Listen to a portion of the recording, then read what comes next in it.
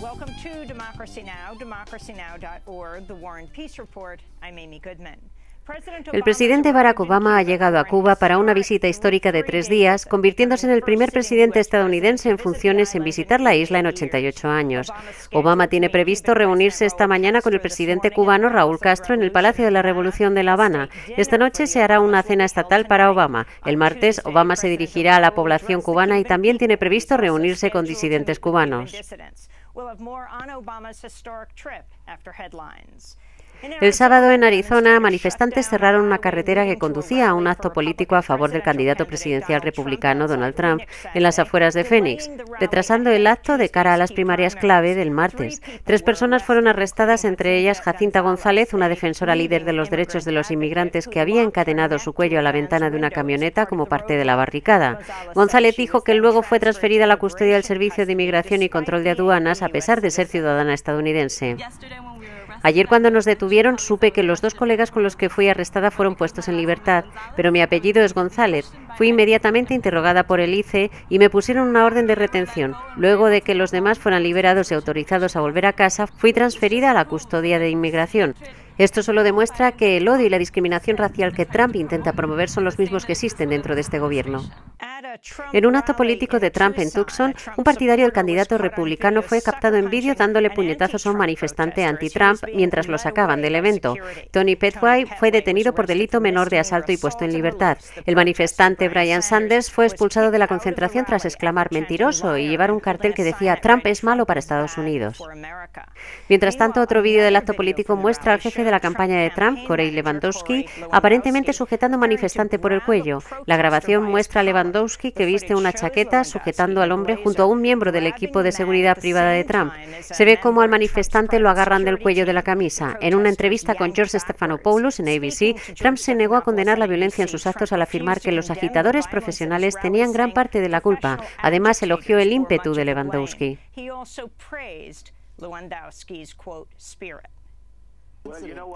Debido a la seguridad en el estadio, la policía fue un tanto permisiva. Llevaba carteles. En esa zona tenían carteles que eran horribles, tanto así que no puedo repetir lo que decía el cartel, pero tenían la peor grosería. Y todo fue capturado por las cámaras.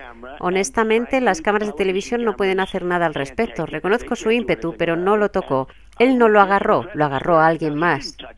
El vídeo allí mostraba que lo agarró, su seguridad privada agarró de él y muestra que lo agarró del cuello de la camisa. Alguien más fue, es decir, reconozco su ímpetu. Quería que ellos quitaran esos carteles horribles llenos de blasfemias. El jefe de la campaña de Trump, Corey Lewandowski, también ha sido acusado de tomar violentamente por el brazo a una periodista de Breitbart, Michelle Fields, y de haberle provocado moretones. En la ciudad de Nueva York, unas 2.000 personas se manifestaron en contra de Donald Trump, coreando afuera Donald Trump, racista, sexista, anti-homosexuales. Marcharon desde el Hotel Internacional y la Torre Trump en Columbus Circle hasta la Torre Trump en la Quinta Avenida. Tres personas fueron arrestadas en medio de una fuerte presencia policial en Nueva York en la congregación de este sábado. El senador de Vermont, Bernie Sanders, no asistirá a la conferencia anual del Comité de Asuntos Públicos de Estados Unidos e Israel, AIPAC, el poderoso grupo de presión pro-Israel. Sanders es el único candidato, tanto del Partido Republicano como Demócrata, en no asistir a la conferencia. Su rival demócrata Hillary Clinton y los republicanos Trump y Ted Cruz y John Kasich tienen confirmada su participación allí. Sanders dijo que su campaña, que los estados de Sanders dijo que su campaña en los estados del oeste previo a la votación en Arizona, Idaho y Utah este martes no le permite hacer el viaje a Washington DC. AIPAC rechazó su oferta de participar en la conferencia mediante videoconferencia, a pesar de que los republicanos Mitt Romney y Newt Greenwich lo hicieron en 2012. Un infante de marina estadounidense murió al norte de Irak. El Pentágono afirma que el sargento Louis Cardin murió el sábado a causa de disparos de cohetes enemigos en las cercanías de McMur. Tenía 27 años de edad. Su muerte parece haber revelado la existencia de una nueva base de Estados Unidos en Irak, en la que, según informa CNN, cientos de infantes de marina estarían viviendo en carpas. Cardín es el segundo militar estadounidense fallecido desde el inicio de la campaña de Estados Unidos contra el autodenominado Estado Islámico. Salah Abdesalam, uno de los sospechosos de los atentados de París en los que perdieron la vida 130 personas, fue arrestado el viernes en Bruselas, Bélgica. Las autoridades lo buscaban desde los atentados perpetrados en noviembre. Autoridades belgas sostienen que estaba planificando más atentados en Bruselas. En Estambul, Turquía, un ataque atacante suicida provocó la muerte de cuatro personas el sábado en una transitada zona turística. Autoridades turcas afirman que el atacante era un ciudadano turco que pertenecía al ISIS. El atentado provocó la muerte de un iraní y tres israelíes, dos de los cuales tenían además la nacionalidad estadounidense. Cientos de refugiados llegaron a islas griegas a pesar del nuevo acuerdo alcanzado entre Turquía y la Unión Europea con el objetivo de reducir el influjo de refugiados. Dos refugiados sirios murieron durante el fin de semana intentando cruzar y dos niñas pequeñas fueron halladas ahogadas. En virtud del acuerdo, todas las personas que lleguen actualmente a las islas se enfrentan a ser enviadas de regreso a Turquía. Por cada refugiado sirio deportado a Turquía desde Grecia, la Unión Europea prometió reubicar a un ciudadano sirio de los campos de refugiados turcos. En Brasil, manifestantes se lanzaron a las calles de todo el país el viernes en defensa del gobierno de la presidenta Dilma Rousseff frente a lo que califican como iniciativas antidemocráticas de la oposición de derecha que tienen por objetivo su derrocamiento. La semana pasada, un juez dejó en suspenso la designación por parte de Rousseff de Luis Ignacio Lula da Silva para ocupar un cargo ministerial. Rousseff afirma que Lula ayudará a fortalecer su gobierno, pero sus detractores consideran el nombramiento como un intento de ampararlo frente a lo que, según Lula, serían cargos por lavado de dinero presentados contra él por motivos políticos. Recientemente, el juez que bloqueó la designación de Lula publicó en las redes sociales fotos de él mismo participando en una de las manifestaciones de protesta contra el gobierno. Brasil atraviesa una profunda crisis económica y un escándalo por corrupción que abarca a todo el espectro político.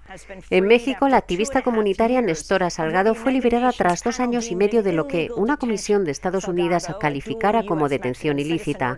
Salgado, que tiene doble ciudadanía mexicana y estadounidense, organizó un grupo de autodefensa en su pueblo natal, ubicado en el estado de Guerrero, donde la línea que divide a los cárteles de droga y a las autoridades locales se desdibuja con frecuencia. Salgado fue liberada el viernes después que un juez determinara que eran infundados los cargos de secuestro y otros presentados en su contra por autoridades locales. Durante una conferencia de prensa describió su reclusión. Yo me sentía encerrada, me sentía como en una caja. Yo estuve 20 meses incomunicada, aislada por un delito que no cometí y a mí no se me permitió convivir con ninguna otra presa hasta que solamente cuando lo pedí al juzgado. Conmigo se ensañaron, conmigo hicieron lo que más pudieron. Es difícil luchar contra el gobierno cuando se lleva una consigna, pero peor aún solamente fue por defender a mi pueblo.